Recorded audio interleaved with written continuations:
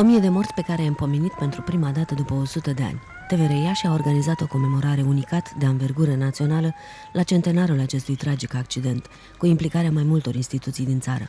Primăria Ciurea și statul major al forțelor navale, Direcția Hidrografică Maritimă, sucursala regională de căi ferate Iași și Muzeul Căilor Ferate Cenafer.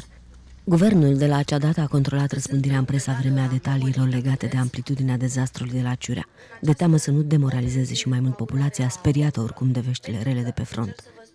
Victimele neidentificate au fost înhumate într-o groapă comună lângă Gara Ciurea.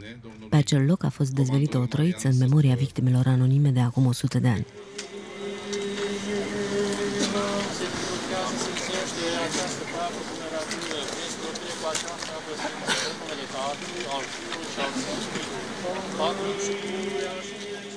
A fost bine, a fost uh, un moment uh, înălțător pentru toți cei prezenți, pentru mine în mod special în calitate de primar, ca organizator alături de TVR și forțele navale a acestui eveniment, în memoria celor uh, dispăruți în tragic cu accident. În accident a fost rănit istoricul Vasile Pârvan și au murit prințul Vasile Cantacuzino și capitan comandor Alexandru Cătuneanu, autorul primei hărți de navigație a Mării Negre.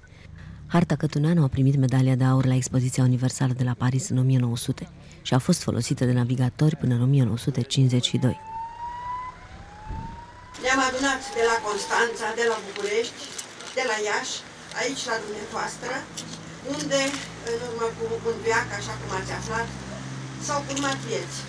Printre cei care au s-au săvârșit din viață a fost și comandorul Alexandru Cătuneanu. Mă bucur că memoria comandorului Cătuneanu și toată activitatea pe e atât de mult apreciată. Probabil că știți, despre activitatea lui militară la Constanța s-a vorbit. Uh, despre școlile pe care a făcut, călătoriile pe care le-a făcut, despre Bricu Mircea, despre Elizabeta, vaporul pe care l-a dus în România, lucrurile astea sunt cunoscute. Mai puțin cunoscute sunt lucrurile de familie. Marina Militară vine aici cu șapte generații, de la 20 de ani, studenți din Academia Navală și elevi școlii de maestri.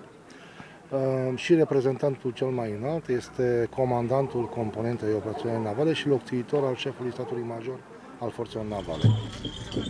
O bornă memorială a fost inaugurată pe același loc în cinstea celui care, cu harta lui, a reușit să facă sigură navigația pe coasta românească a Mării Negre. Avea 54 de ani când a murit ca un erou la Ciura. Venea la Iași, în noua capitală de restriște, cu documente importante de la Ministerul de Război. Aștept să văd uh, filmul uh, realizat de Oana Lazar cu echipa ei și am încredere că vor mai fi astfel de momente importante atât pentru istoria comunității locale, cât și pentru istoria țării în general.